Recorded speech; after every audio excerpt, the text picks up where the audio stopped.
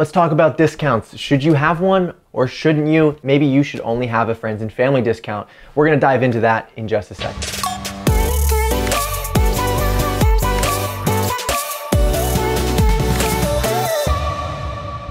Hey, I'm Josiah Blizzard. Welcome back to the channel. We talk about wedding photography, photography, filmmaking, creative entrepreneurship, all of those things on this channel. And today we are specifically talking about discounts and if you should have a friends and family discount and how all of that works. So what we do is, yes, we first and foremost have a friends and family discount. It's something that we do for, for weddings, uh, specifically really only for weddings. We don't really discount any of our portrait sessions or anything like that. But for wedding photography, we do have a friends and family discount. And the big you know, decision you need to make is who's included in that friends and family discount. Obviously, maybe some immediate family is, right? Parents, siblings, uh, you know, cousins, things like that could be in there.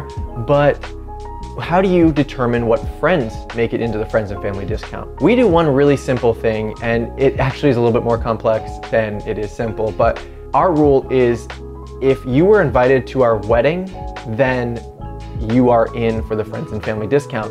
And that also extends to if we would invite you to our wedding today, you also get the friends and family discount because we've met so many people since we got married almost six years ago that we would now invite to our to our wedding. If we were getting married next month, these people would be invited. We would give that discount to those people. So it's constantly kind of updating. Our friends and family discount list is is you know growing, um, but obviously too you you may fall um, you know, fall away, fall apart from those friends that were invited to your wedding a couple years ago. So maybe some people might be out later. Anyway, that gets too complex. But essentially, we just boil it down to is if you were invited to our wedding or would be invited to our wedding today, you are gonna get those friends and family discount. And sometimes this even trickles down to like kids of people that we've invited to our wedding.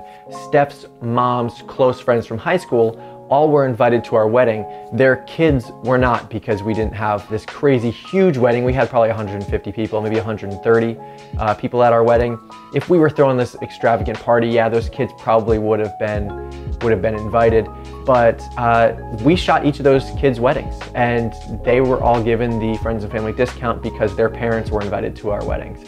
So that's kind of how we do things. That's kind of how we determine if you would get the um, friends and family discount. Simply if somebody inquires with you and you're wondering, is this person close enough to me to get this discount? We ask the one simple question, would they be invited to our wedding today? If the answer is yes, then they get the discount. If the answer is no, then they don't get the discount. It's as simple as that.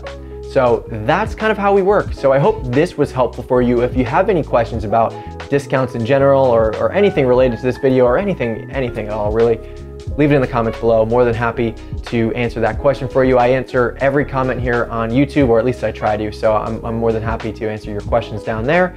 And last but not least, please hit that like button, hit that subscribe button, and share this content with a friend who might find it helpful. And I will see you guys in the next video. Take care.